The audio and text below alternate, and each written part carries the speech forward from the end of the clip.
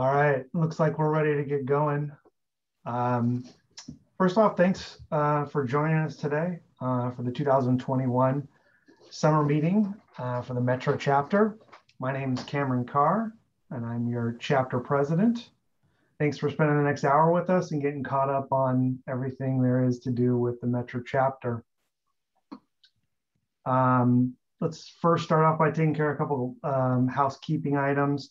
For old business and new business, please use the, the raise your hand function and we'll try to get a call on you or you can use the comments section and we'll address uh, all the all the questions at the end of the uh, presentation today. Uh, second thing here is uh, I'd like to make a motion to approve the minutes from the spring meeting on April 19th, 2021. If I can get someone to raise their hand for a first.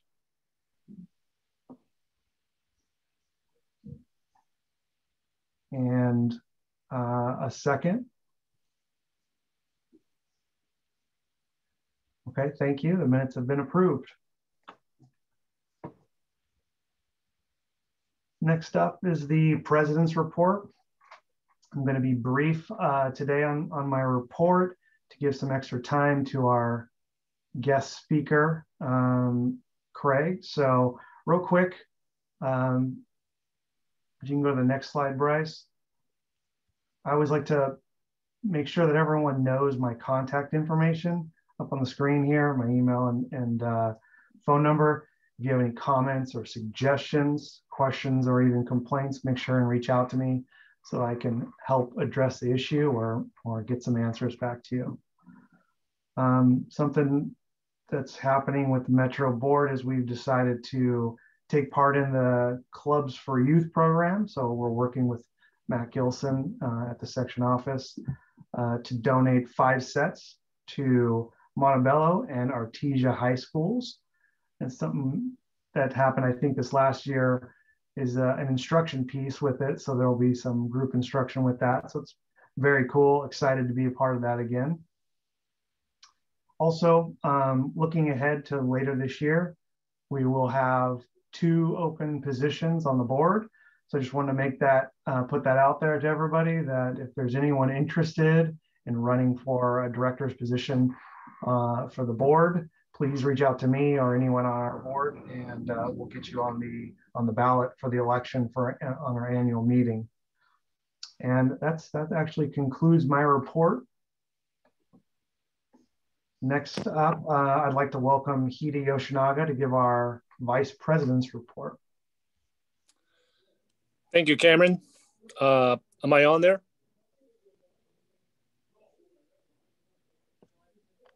Yep, you're good. Okay. All right. Well, uh, hello, everybody. Uh, hope everybody's doing well. Uh, for the uh, vice president report, um, let's see, the section and the chapters did change the accounting system. So the format looks a little bit different, uh, but the general fund is looking uh, very good at 29,895. And Bryce, you can go to the next page. In the tournament uh, financials, we have uh, $5,157 in net assets. So uh, we are in good shape and uh, looks, looks good going into next year as well. Thank you. Great, thanks Hide for that. Um, next up, we have our secretary's report, and I'd like to welcome on Rick Steele.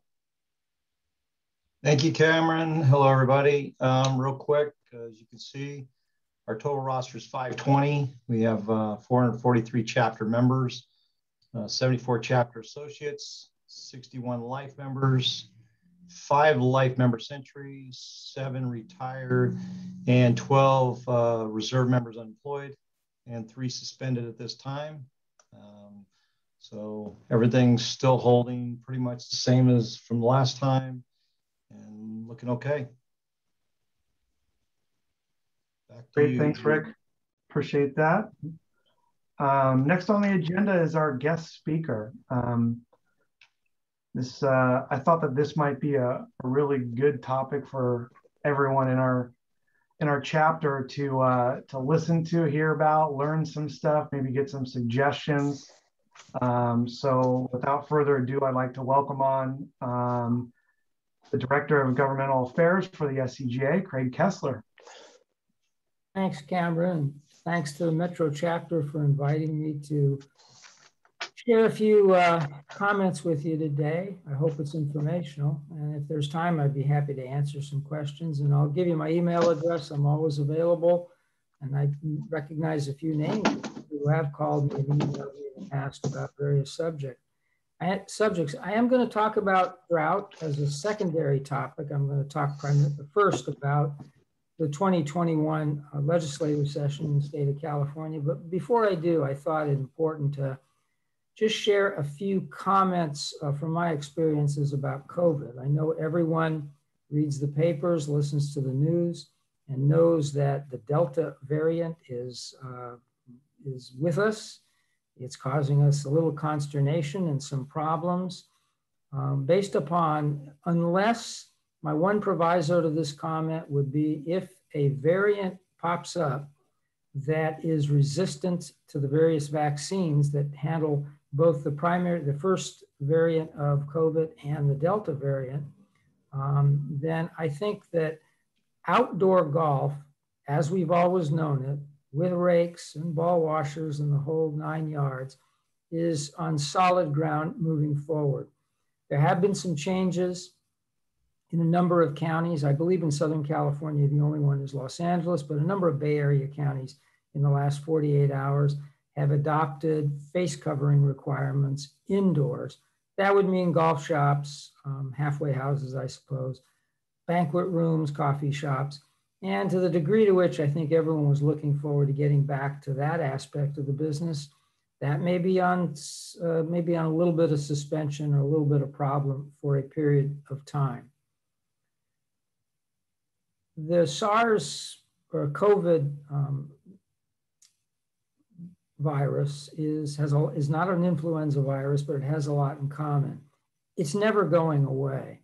And just as we get flu vaccines every year, and I don't know about the rest of you, but I've had the flu a few times when taking that vaccine, and it's always an extremely mild version of it. You almost don't know you have the flu. You think you simply have a serious head cold. My suggestion is at that point, if we ever get to that point of being sufficiently um, vaccinated and otherwise immune to COVID, um, uh, then I, I think uh, that that's going to be the nature. And I don't think that should cause us to panic or to consider that we're locking down or going back. And at no time, if you take a close look at the hospitalizations and the death rates, know that's a bit of a macabre subject to discuss, they're quite a bit out of sync to the um, infection rate and particularly the infection rate of those like yours truly here, who's uh, twice vaccinated. Um, oftentimes, the most insidious thing about it is you have no clue that you were that you were reinfected because you're asymptomatic or the symptoms were so mild, you just thought you were a little under the weather that day. So I, I, I want to just open up by indicating that again, I had the joy, the great joy of dealing with 10 different public health departments for a period of about 15 or 16 months including the one in Los Angeles County, which ah, that one wasn't a joy. That one was a miserable experience, but most of them were pretty good to work with. And I just don't think that the, the outdoor game, and, and as we know it, is in jeopardy moving forward. Again, with the great caveat that if there is a strain that's, uh, that's resistant to these vaccines, then all bets are off um, but again, just I'm not an epidemiologist, I'm not a doctor, but based upon what I've read, the credible things I've read from credible sources, that's a very unlikely event, uh, but it is indeed uh, possible. Moving on to the uh, 2021 legislative session. And I'll be fairly brief. And actually, I'm going to discuss one item because this is an audience of golf professionals uh, that's really from the previous two legislative sessions, and we didn't get around to it this year, and that's Assembly Bill 2257. I know golf PGA professionals are interested, so I will close with that as one of three bills that I will talk about that we dealt with in this year.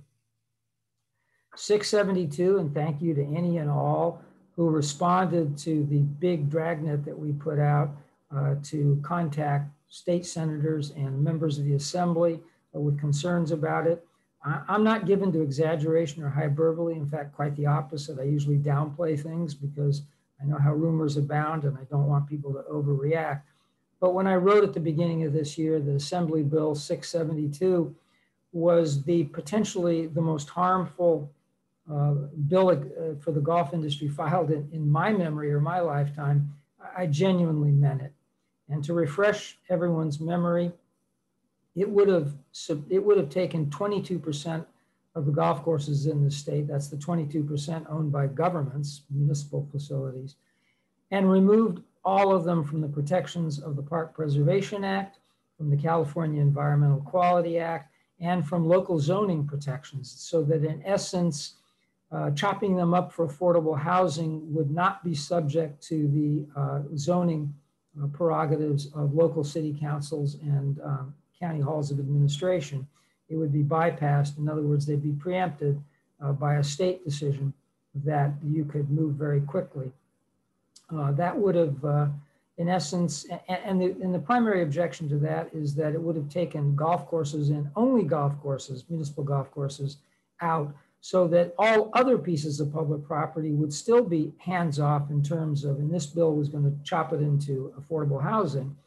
And so it would put a target on the back of every golf course and almost serve them up because virtually every city and county in California is not meeting the requirements put on by the state uh, to meet, uh, to do certain housing construction, and particularly affordable housing construction. So that would have, uh, would have taken that stock of our golf courses, which are where we did some research at the SCGA. Over 90% of the developmental programs like Youth on Course, SCGA Junior, First Tee, PGA Junior League, those things happen on, on that particular class of golf course. That's the growth of the game programs. That's where most persons are introduced to the game. And uh, one of the one of the things I always do when given the I sit with a lot of uh, private club boards of directors and green committees, and I always ask them how what was their journey to get to this spot well over half of them uh, indicate that your journey began at a municipal facility. they're not to the country club born. So that's an integral part of the entire ecosystem. We lose that, we lose our, all of our capacity for growth. And quite honestly, whatever, we may have a thousand golf courses in the state of California now, uh, but we short order, we'd be down to four or 500. And for those of you on this call who work in the industry, that's not a happy career prospect for anyone. It doesn't matter what your role is, whether you're a professional, a superintendent, uh, a vendor, a supplier, an owner. It really matters. It doesn't matter what level you are.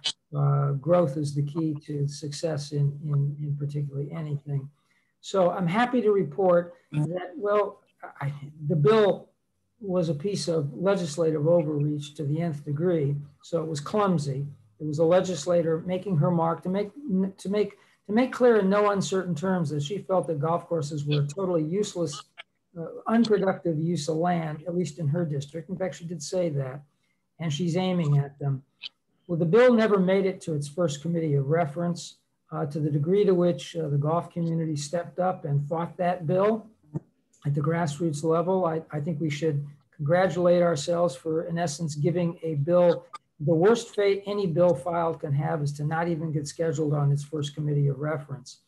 However, having said that, do understand that the anti-golf animus in combination with a, with a growing uh, housing uh, need um, is something that will continue to haunt us. Maybe not necessarily in, in this particular iteration, something that's, that amounts to such a great overreach, but certainly it's in keeping with that theme that, that I constantly put out, and we will get to it when I get to the Tim. because they're really one and the same. And whoever's talking, I'd appreciate if you kind of mute yourself so it's not completely disconcerting. Starting at 11 o'clock. Yeah, whoever's starting at 11 o'clock is the one who might consider muting themselves. So, uh, so, so moving on, and, and that and that is this: there's a perception of us in the golf industry simply that we put too few persons on too much land that's in too much competition from recreational and other very valuable societal interests like housing. And the too few that we put on that land are those who receive too much from society already. In other words, the elite. Now, I know in what I just explained is, is a caricature. It's not true. However, the degree to which many think it's true, and certainly Assembly Member Cristina Garcia thinks it's true, and she's not alone, we have to constantly understand that, appreciate they have that point of view, and constantly tell the truth about our about who we are and what we are and our story uh, to anyone and everyone who will listen. But beyond the confines of conversations like this, and tell that to media, tell it to the outside world, and you as the primary ambassadors of the game, I mean, keep in mind that golfers themselves, uh, when they when they go to a golf course, um, their point of reference and, and sometimes their exclusive point of reference is a golf professional. It's not it's not the GM usually. It's not the banquet manager. It's not the superintendent. It's not the maintenance staff. It's it's not the PGA section staff, and it certainly it certainly isn't me. As many calls as I get, it's you. And so the degree to which you're good ambassadors of the positive messages about our game, not just its social utility and the demographics that actually play it, which is a, again is very different from the character I just explained, which is often the perception of us, but also in terms of our good of our solid use of water and our continuing declining use of water, pesticides and other inputs and so forth. So do keep that uh, very much in mind, and that's where it dovetails that the anti-golf animus evidenced by 672 is going to come back in various different forms with each legislative session. Uh, the bills may not be as damaging as that, but they're all of the same character. And so be aware of it. And I think a part of the, whether it's the SCGA, the SCPGA, or the, or the Greater California Alliance for Golf we're part of, we're aware that that's our, our challenge moving forward. Very briefly, the one other piece of legislation we continue to deal with its number is AB 1346 for people who are gluttons for that particular kind of punishment, as I am. Uh, that it is, is a bill that directs our Air Resources Board to develop, to go through the rulemaking process to, to ban the sale of gas powered engines 25 miles, excuse me, you know, 25 horsepower or below. The golf, now you, what they're aiming at are the blowers and the small equipment. Much of it is domestic equipment but included in the category are, is a lot of machinery that golf courses use. And the truth is, those things are either not available in battery powered and electric power, or they're available, but it, they don't really work as intended for use. Um, so the good news here is that we were able to secure a meeting with the author of the bill, and that legislation is moving. It's moving through both houses, and it will be signed for the governor. That's inevitable but it is directing the Air Resources Board to consider feasibility and cost. By feasibility, it means some flexibility that the degree to which that stuff is just not available for purchase on the market, those dates would be later than rather than some of the sooner dates that might be applicable to simple domestic or gardening uh, gas powered uh, equipment. In addition, when with, with financial uh, features being part of it, that means perhaps some rebates to stimulate the purchase or the transfer or tax credits or something like that. We've already, the industry's already submitted comments to the Air Resources Board that have been well received. We're on our way. And I think this is a good example of what, unlike 672, which was a declaration of war against the golf industry, there's no response to that except belligerent opposition. But most of the things we do are not that at all contrary to some of our counterparts in other states, it's usually recognizing that if the world is going in the direction of phasing out gas powered engines in favor of electric power, we're better off uh, riding that wave and in that instead of bucking that wave. And if we can ride it to shore, we have the capacity to fashion it to our benefit. That's been sort of the central organizing principle of most of the things that we've done in a decade or more with various water districts and water providers and I would argue it's one of the reasons that we're treated much better than most industries when it comes down to, to drought. Final thing I'll deal with, which is not a bill of uh, 2021. We wanted to make it a bill of 2021, but there's only so much bandwidth in the legislature, and this one just didn't make it. And that's Assembly Bill 2257, which is the successor bill to Assembly Bill 5, which dealt with the whole idea of who's an independent contractor and who's an employee. Remind everybody that this whole not this whole miserable business started when the California Supreme Court issued a decision in 20, 28, 2017 that overturned established law on that point coming out of a 1989 California Supreme Court decision. And they overturned it by simplifying it into a three prong test. The problem was the second prong made everyone, made every, it was impossible to be an independent contractor. Read literally, uh, surgeons would, would have had to be employees of hospitals in order to get surgical privileges, radiologists. It, it became a joke. And that's why the legislature had to take it up and admittedly bollocks the job with AB5, made it quite a bit better with AB 2257.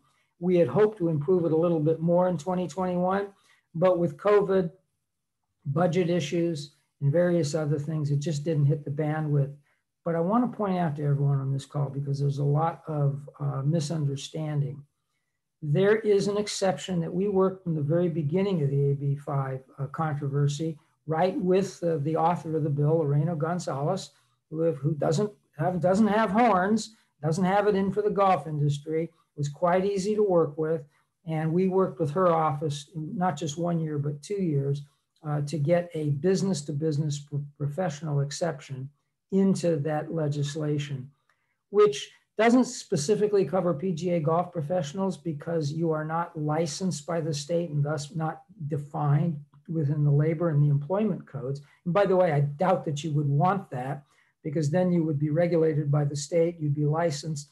And while the fee may start out reasonable, just ask anyone who pays license fees. It's just another way for the state to get tax money. And then you have an entirely non governmental structure of managing your profession, which is. Uh, which is which manages your profession. The profession is managed by people who understand the profession, and in fact, that's the PGA of America through all of its institutions. So I don't think you'd want to jettison that just to be, have a slightly easier route towards independent contracting. But that business to business for professional exception and for professional services exception establishes a 12 prong test. PGA professionals under 11 of those 12 prongs can easily work. They can work as employees, they can also work as independent contractors. And most management groups most ownership groups have figured that out in conjunction with their own counsel and have drafted those agreements that cover it. The 12th one is not so much a contradiction of that as it is so it's worded in such a way I, I can't tell you what it means. And so whenever there's some ambiguity, we had hoped to stamp out that to eliminate that ambiguity in this session. That was one of our overarching goals before 672 and the world fell in, fell in in other respects and that'll be a goal going into 2022 uh, for the California golf industry. Um, so rest assured. But PGA professionals, youth sports coaches, which is very important. Gonna, i know it's important to the SCGA because that we're dependent upon youth sports coaches for SCGA Junior Golf Foundation. I'm going to guess that Junior League and various uh, various programs of the PGA fall under that, and so does the first tee, and they can work as independent contractors. And there's even a route for caddies. It's a circuitous route, but the fact that there's a route at all, I find somewhat miraculous in the sense that the legislature made a bit of a fool out of me because I told everyone we didn't have a chance in hell of getting that through, and we got it through. Whether that's dumb luck or we're smarter than we think, I have no idea, but uh, we'll, we'll, take it and uh, we will run with it. Moving on to what it actually says on here, a longer term strategy a must, and that sounds like a piece I just wrote or the title of it. I, I think if you read newspapers, you'll know that the Los Angeles Times in particular, uh, it was a joke I told somebody the other day, is thank God for the Delta variant. At least it knocked drought, fire, climate change, and pending disaster off the front page of the paper for a day or two. But it's back there again today in the form of the uh, in the form of Arizona, which is in worse shape than we are. I can't emphasize enough that you know that's clamping down on us it uh, in the northern part of the state, it's already there. I mean, I was on the phone last week with the with the head of uh, Sonoma County Water, And Sonoma was the first county declared uh, in an emergency situation. It, it, it's, it's a source of a lot of fires. It's a total disaster and they're in deep trouble. But following closely are Marin, Santa Clara. So you can see it's moving from north to south. It will hit us next year unless we get incredibly lucky with snow and rain this, this season. And the reason that we're a little bit delayed is that having never been able to rely upon Mother Nature uh, for, our, for our water needs, we have massive storage mechanisms, and that storage is pretty solid in the southern part of the state. In the northern part of the state, the biggest earthen dam they have, and it's I believe it's the biggest in the state, Lake Oroville, is literally perhaps weeks away from being unable to generate electricity because there's not sufficient water in it. When I say it's it's worse than you think, because the numbers are shaping up like 2014, 2015, 2016 in terms of raw precipitation. But in those five intervening years, it has gotten sufficiently hotter and drier in the aggregate in, in the climate that there that while the same precipitation produces more rain than it does snow, snow is the way we store water and transmit it down to the southern part of the state. That's our conveyance mechanism. We haven't invested sufficiently in some of the cutting edge mechanisms like stormwater capture or aquifer recharge, or in the case of San Diego County in particular, desalination. Those things are coming, but as with all things that are coming, they're expensive and they haven't come yet. So in the short run, we can't really rely upon them. But the less snow falls, and then the actual, all the predictive models that climatologists have used to say that we'll get so much water runoff from so much snowpack are proving to be inadequate. We get much less water as a result of even much less snow. You put that together with the wildfires, with the hotter conditions, the drier conditions, and the lower precipitation, and we're in a vice. I mention this because you should begin thinking about it. You should begin, you should know um, that when this happens, Gulf Golf is a frivolous use of water. It says so in the California Constitution. It, it's, it's, it's totally discretionary. It can be jettisoned at any time. We may think it's important, and yes, it employs people and it produces taxes and all the rest of that, but so do other things. And, and human health, human health consumption, and, and agriculture are the uh, much more important uses. So keep that in mind. And we're sore thumbs. You know, there, there are industri- industries that use massive amounts of water more than golf, but you don't drive by those industries and see 120 acres of lush green as you drive by.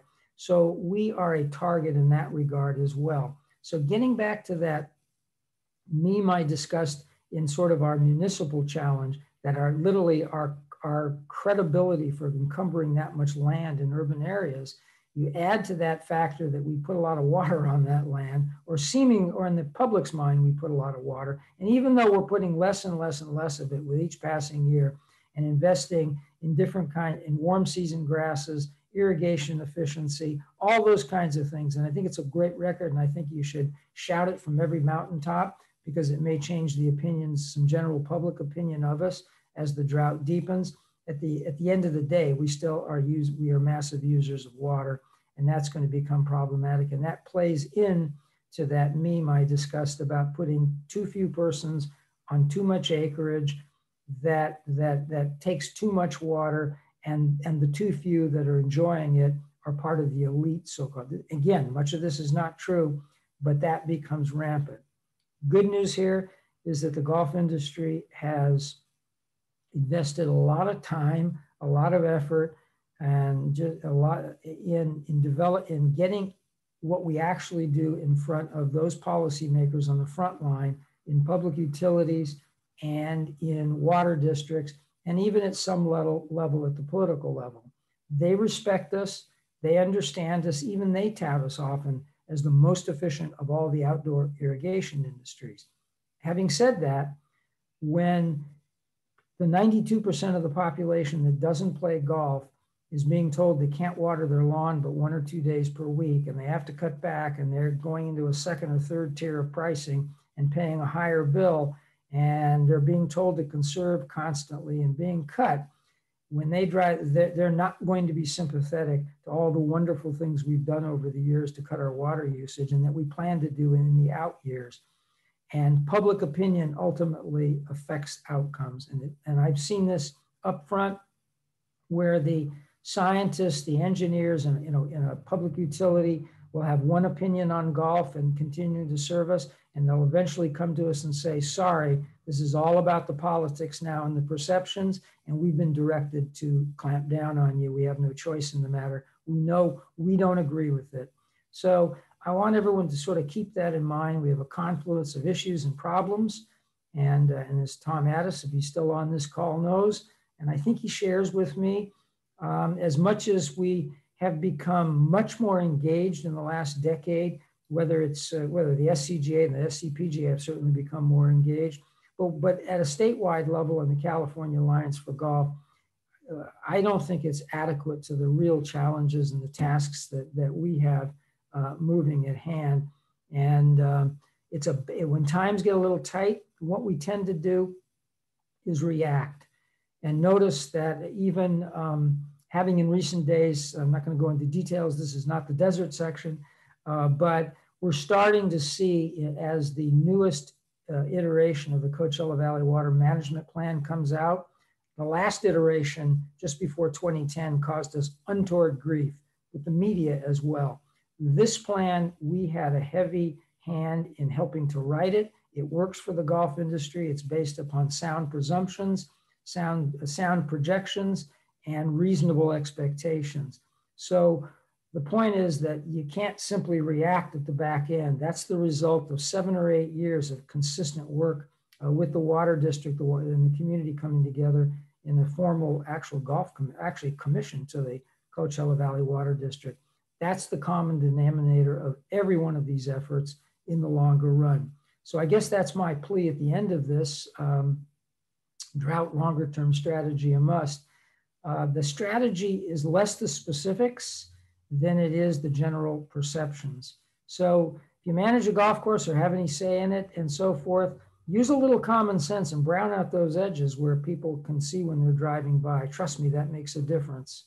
Um, it may not, in reality, we can tell ourselves and we can tell the world that we use less than three fourths of 1% of the potable water consumed in the state. 40% of our facilities are on recycled water uh, that we had that our water footprint is a fraction of what it was just 20 years ago, and that we're exploring on-site recycling, all, all kinds of cutting-edge things that cost this industry a lot of money and has put it in some difficulty. You can say those things till we're blue in the face, and I encourage us to do it. But when it, when times get tough uh, and, and we're in a drought, we're not going to get a lot of sympathy on that. So keep those optics in mind and keep the fact that though that it, that in, in something like this, facts are facts are great, but perceptions, my experience has been is that perceptions always matter more than facts when you're talking about something ultimately that comes down to political decisions and who gets the water when, where, and how always comes down to political decisions. And I think it's one of the reasons that during the 2016 drought, and I can say this because this is a this is not there's no one from the media on this particular call, but oftentimes in private sessions, we got a lot, we got away with murder.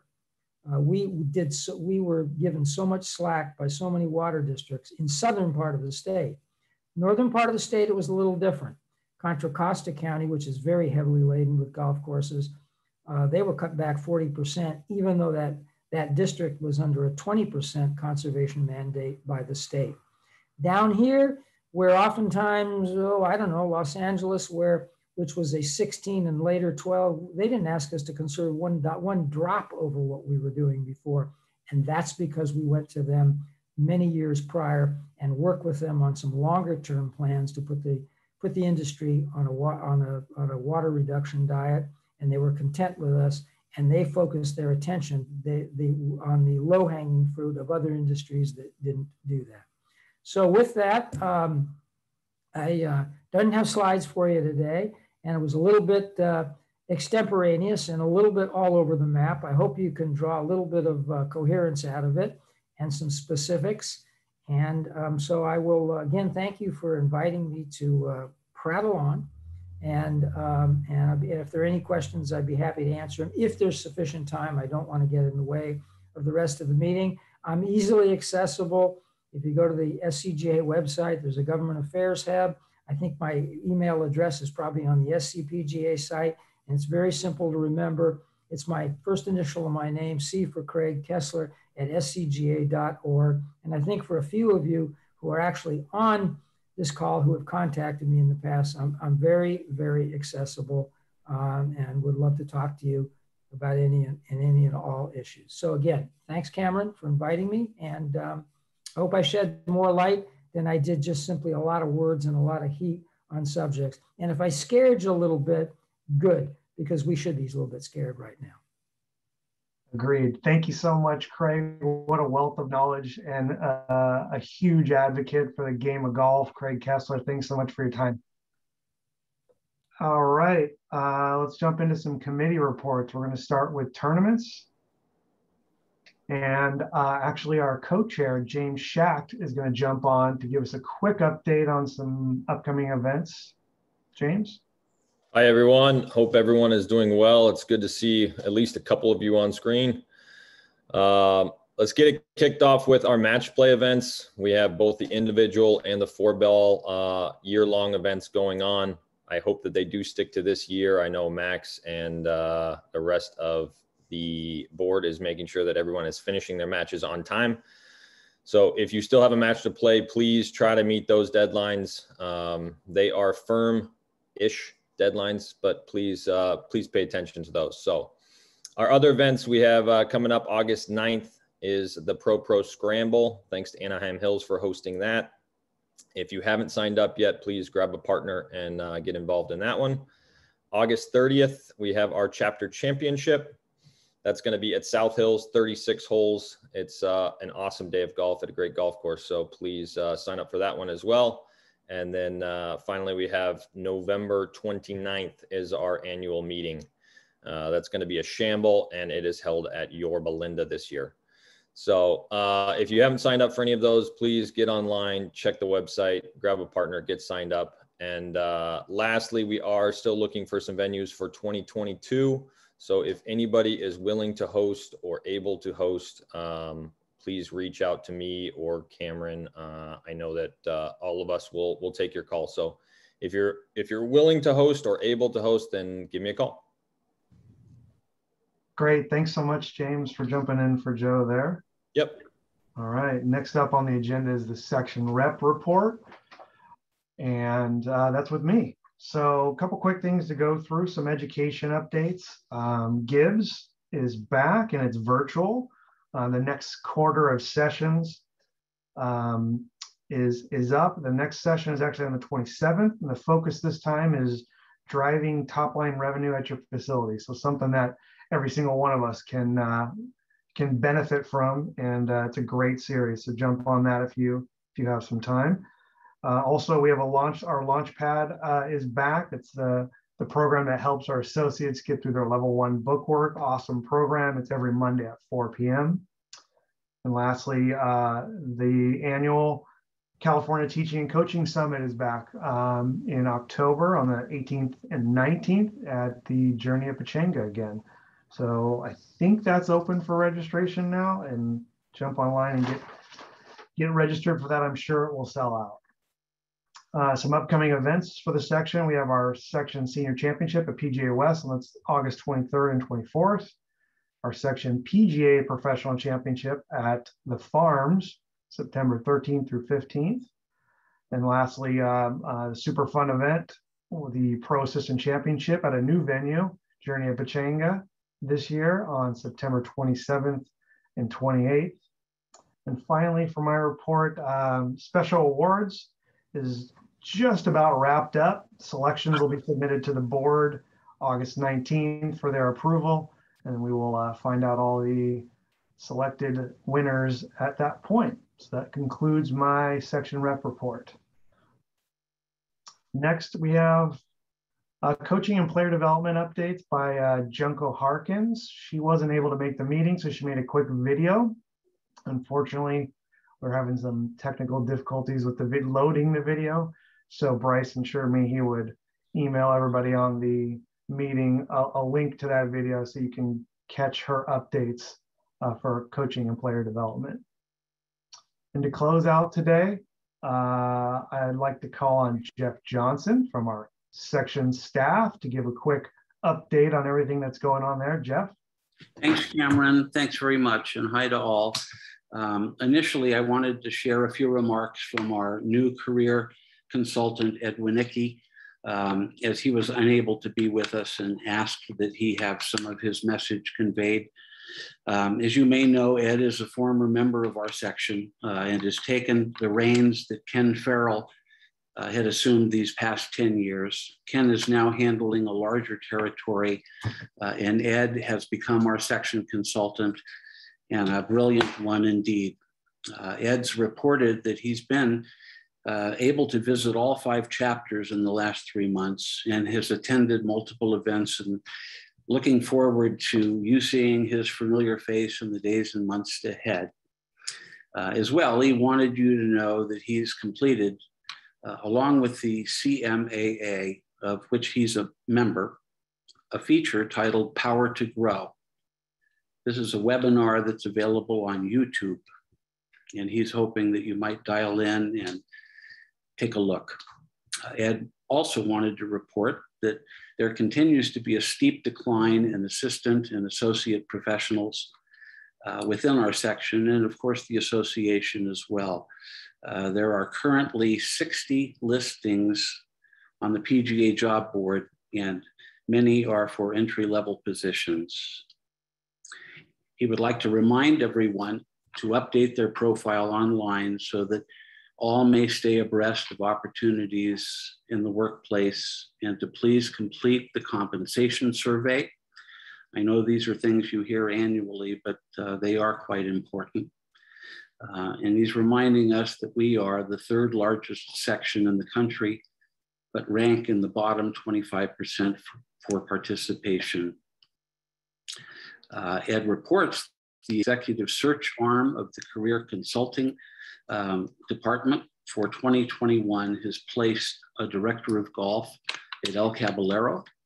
A search is currently in process for the general manager position at Riviera Country Club, and a head golf professional position at Desert Horizons is coming very soon. He goes on to say that he's working with section staff on upcoming career service events, member to member messaging, updating the member benefit page, and PGA ProFinder. Uh, Ed can be reached for those of you that have a pencil. Of course, it's online, but it's E W I N I E C K I at PGA H. Q. Dot HQ.com. I promise he's a valuable resource. And I'll pause now if there are any questions on uh, Ed's brief report.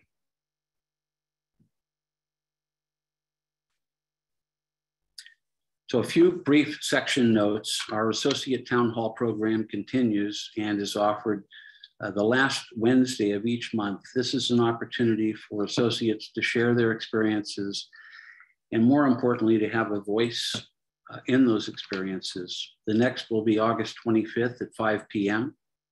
And a very special thanks to Tom Sun and John Kulo for their guidance in conducting this program. Uh, you will find the link to the town hall on the SCPGA website. As well, our Launchpad program restarted in 2021 for level one associates is conducted every Monday at 6 p.m. for an hour and it's simply to review level one materials and to assist our associates with their work experience. Uh, every week, there's a guest speaker who has just received his or her PGA membership. And please find that link on the SCPGA website as well. Uh, we conduct seven new member and associate orientations annually, and the next is September the 2nd. These are virtual and are the requirement for playing in section and chapter events. If you are a new associate on this call or a newly elected member, please reach out so that we may get you on the schedule. Uh, these sessions usually last a mere hour. And please contact me at the section office, although you'll likely receive a letter from me here in the next week or two about the schedule. And like our, excuse me, like our chapter, uh, or your chapter, I should say, the section has a very healthy balance sheet and continues to meet or exceed uh, its budget projections quarter over quarter. And happy to say uh, we've done so for the past six years. Our finance committee reviews uh, our portfolio on a bi-monthly basis and Canterbury Consulting in Newport Beach, who's provided guidance for the section these past 11 years, continues to do an extraordinary job for all of us. And finally, as Cam mentioned, uh, our special awards recommendations will go to the Board of Directors on August the 19th for ratification, and announcements will be made shortly following. Uh, I'd like to personally thank uh, Metro members Jim Gormley, our chairman, uh, Bill Hulbert, Andy Tooney, Cameron, and Rick Stiegel for their service on that committee. Uh, and to honorary president Tony Latendra for chairing our Hall of Fame and honorary life member committee. And finally, if there's anything you might need, you need only pick up the phone and we'll make it happen. I promise. Thanks to all. And thank you, Cameron. Great. Thanks so much, Jeff. Tom, did you want to jump on and say a couple things? Yeah, thanks, Cameron. Uh, appreciate that. And just a few things and, and following up, um, following up with Craig, uh, for one thing, I can't get my camera to work, which is to your benefit, I'm sure. Um, oh, here we go. Uh, sorry about that. Uh, following up with what uh, Craig had to mention, just do what you can to educate yourself on on what golf is really doing out there. Not not only with COVID, uh, because we are leading the way and, and with all the upsurge uh, and, and where we have to be careful again and wearing our masks when necessary and when required uh, inside, indoors, uh, show the way as much as you can. Uh, we really appreciate that. That helped over the last year and a half. golf was really the, the guide and the instigator for success uh, in outdoor recreation, and and uh, we all took a, a, huge role in that. So let's uh, let's keep it up uh, as as long as we can, and while we're uh, dealing with this upsurge in the pandemic, uh, dealing with the water issues and the environmental issues. try to learn as much as you can about what we are doing out there, what water saving, what environmental saving efforts we are doing, even outside of of water conservation. Just a, a, good example that I always like to use uh, this time of the year, especially when we're faced with so many wildfires, uh, is the, uh, the, the lakes on the golf courses that are made available to the firefighting agencies uh, to fight the fires. And, and, you see it all the time. And golf courses are being designed, uh, and in some cases have to be designed to store that water for firefighting. So anytime you have the opportunity to um, uh, educate yourself and expound and expand on that, uh, uh, which helps the game of golf and the business of golf, uh, please do so. Uh, as a follow up to um, uh, our PGA, California Nevada PGA chats, we've moved those to once a month now. I think most of you know that. the next one will be on August 20th. Uh, we're we're trying to do the first Friday of each month, but due to travel and, and other things, uh, we are going to move the one in August to the 20th. So be aware of that. Those of you who uh, uh really count on those chats as we do. Uh, to expand, uh, Cam brought up the California Teaching and Coaching Summit. it is presented by TravisMathew. They're a, they're a huge supporter of this event, and this is our fifth. That'll be at, uh, and it, it is at Pechanga on October 18th and 19th. Uh, urge you to take a look. The speaker lineup is uh, extraordinary again uh, this year, uh, brought to you by uh, Jamie and, and our teaching chair and host of the, of the summit, Randy Chang. We have Jim McLean and Derek Uyeda, which will team up, and, and that'll be an exciting duo to listen to. Dr. Brett McCabe, uh, Marcus Potter on Potter's putting, uh, Chris Mason, uh, a uh, Michael Breed. I think uh, many of you know who Michael Breed is and may even listen to his radio show. And Melissa Mo Martin, who is the women's British Open champion from 2012, I believe it was. We'll talk about her game and how how straight she hit it in order hits hits it in order to survive.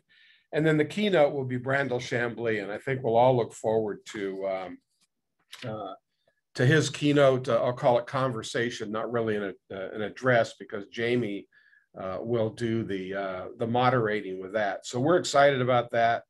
And uh, well, I'd like to remind you also that that previous summits are on YouTube and could be viewed at any time, just like the new series in October will be as well.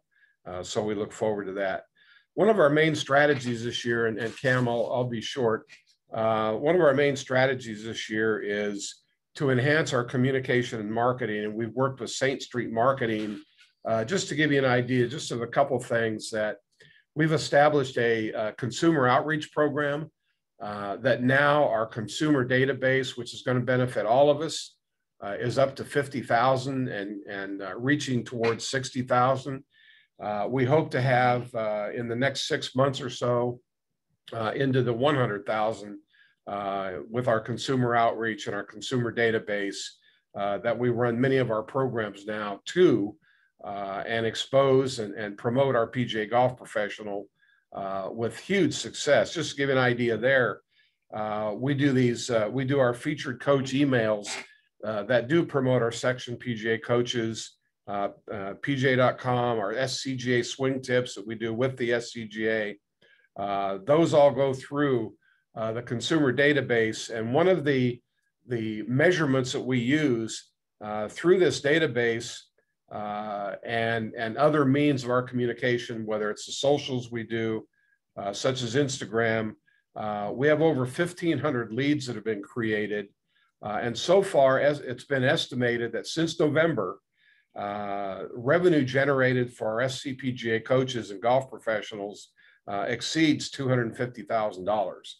Uh, that's a significant number, uh, and that shows how much of a, a benefit uh, proper communication and social outreach is. and congratulations to Bryce and his team, our communications committee, and, and thanks to Saint Street Marketing for, for pulling us through and pushing us through uh, this this new uh, communication program and, and, and consumer outreach. So we're really happy about that, and, and you'll see more of that as time goes on. Uh, thanks to, again, to the chapter for your support of Clubs for Youth. We're getting back in gear with Clubs for Youth now that we're, uh, well, we hope we will. Uh, we have program visits for uh, high schools in the area. and so we're looking forward to get back, getting back involved with that.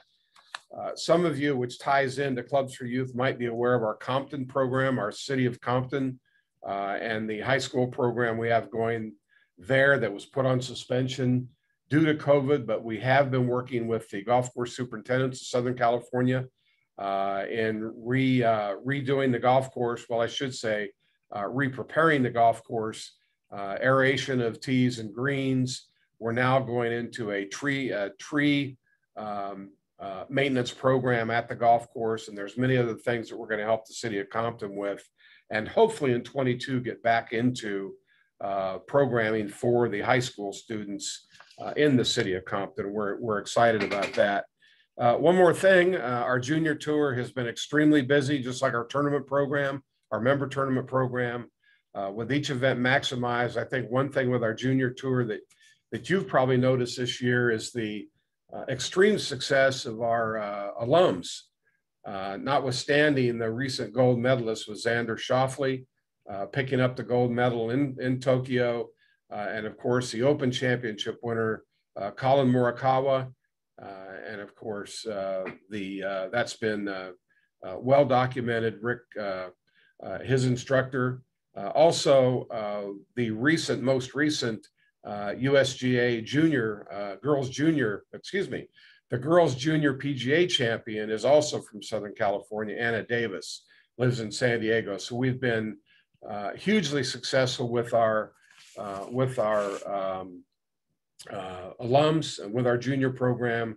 Uh, and congratulations to our staff, head by, headed, headed by Kevin Smith, our junior golf director, and pushing out those activities and and and and doing a really really good job with with the events and the development of our youth players. So that's kind of it, Cameron. briefly, sorry, it did go so quickly. Uh, our annual meeting also is at South Hills Country Club, just so you know, in December. Uh, so look for that, and, and we look forward to seeing you uh, at the next activity. So again, Cameron, thanks for having us. Uh, and as Jeff said, if you need anything, just don't hesitate to email us or call us, and we're here for you. So thanks. Great, thanks Jeff and Tom for for the updates on everything and all the support you've uh, you've given us. Um, looks like we're pretty much ready to wrap things up. I don't see any comments or questions, but really quick, I did want to circle back to um, the Summer Pro Pro Scramble uh, next Monday here at my course, Anaheim Hills.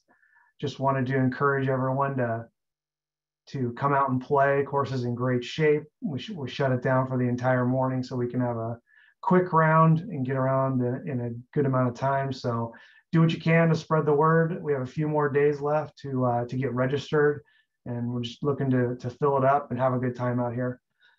So thanks to everybody. Uh, really looking forward to being back in person later this year, November 29th, our annual meeting and election, and our uh, our Pro Pro Shamble that day. So uh, on behalf of of the Metro Chapter Board, thanks so much for spending the last hour with us, and have a great day. This meeting is adjourned. Thanks. Thanks. Appreciate you being on. Thank you, Cam.